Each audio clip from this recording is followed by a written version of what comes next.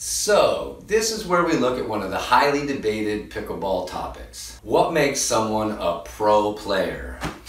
Obviously, everyone has a right to their opinion, but I think this explanation might clear it up for at least most people. There is a system, and it makes sense. Sort of, but it is what it is. In pickleball, there are currently a few rating systems that allow people to compete at their level. I think overall, most pickleball players kind of know what level they are if they've been playing for a little like, yeah, I'm a 4-0 and I'm trying to move up to 4-5 or, you know, something like that. So the highest rating-based division I've ever seen in a pickleball tournament is 5-0. Then it's the pro division. The division is called pro by the governing bodies of the sport that we play called pickleball and tournament directors. Now, in my opinion, at least at the pro level, the DUPR rating is the most overall accurate because it's driven by a dynamic algorithm that takes into account more than just wins and losses. It also allows the pro division a more appropriate spread of the levels. For example, Tyson's singles DUPR rating is a 7.02 and mine is a 6.12.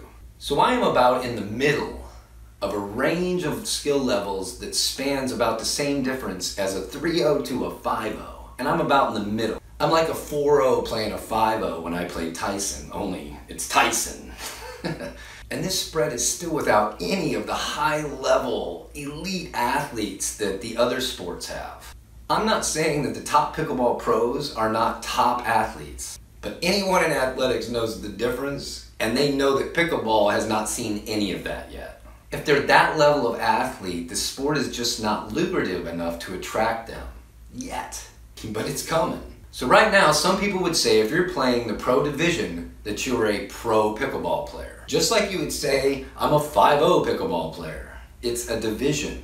It doesn't mean that you're making a living playing in pickleball tournaments, but it tells people your level right away so it gives you context for a conversation. Now, there are also people that would say, just because you're competing in the pro division doesn't mean that you can claim to be a pro pickleball player anyone can just sign up if they want to donate a couple hundred bucks to the pros. Now, although this used to be true, the APP Pro draws are limited in size, and it's based on a combination of factors including rating and registration date and tournament director discretion.